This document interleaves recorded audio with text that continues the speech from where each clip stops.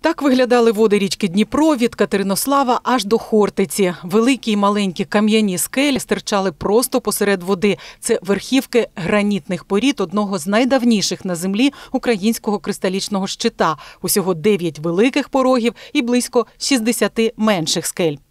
Шум порогів було чути на десятки кілометрів. В тиху погоду це і 15, і 20 кілометрів було чути, як ревуть ці пороги.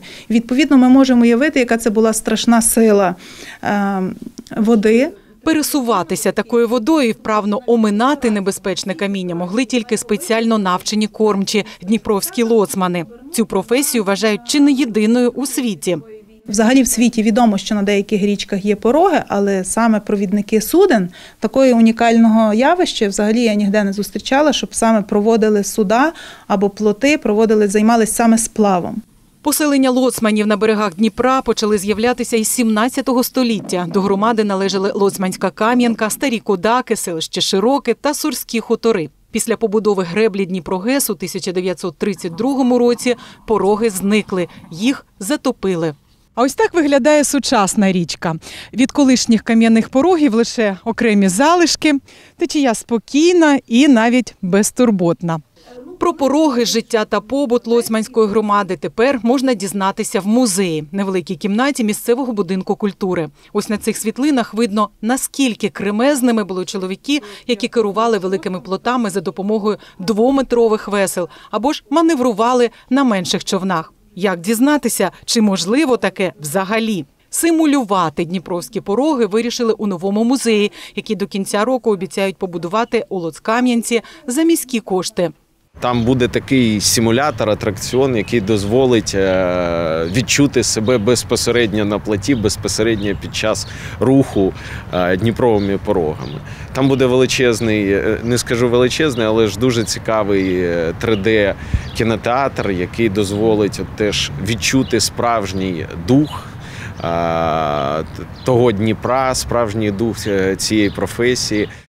У селищі залишилися нащадки лоцманів. Покоління онуків продовжує збирати особисті речі, документи і знаряддя своїх родичів для експозиції. Сподіваються, це також має компенсувати брак знань про унікальність лоцманської професії.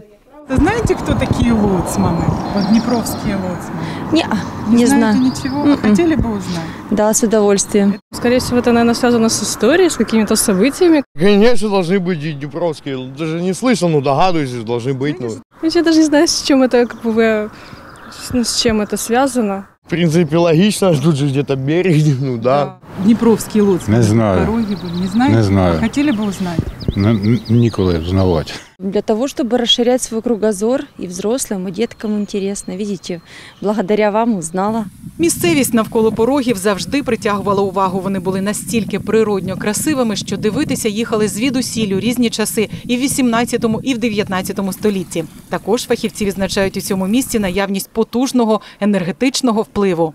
Кажуть, що е, магма, яка виходить знизу під тими скелями, тектонічними плитами, е, разом раніше в переміжку з хвилями Дніпра утворювали певний такий як е, потужну енергетичну силу самої води. І тому кажуть, люди, які жили раніше по всіх в селах, по порогах Дніпрових, були довгожителями. Тобто ця вода була як лікувальною.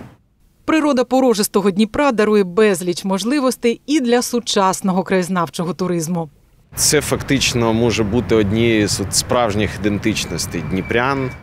Олена Кальянова, Олександр Височин, Олександр Наумов, Ігор Бездільний. Новини 9 каналу.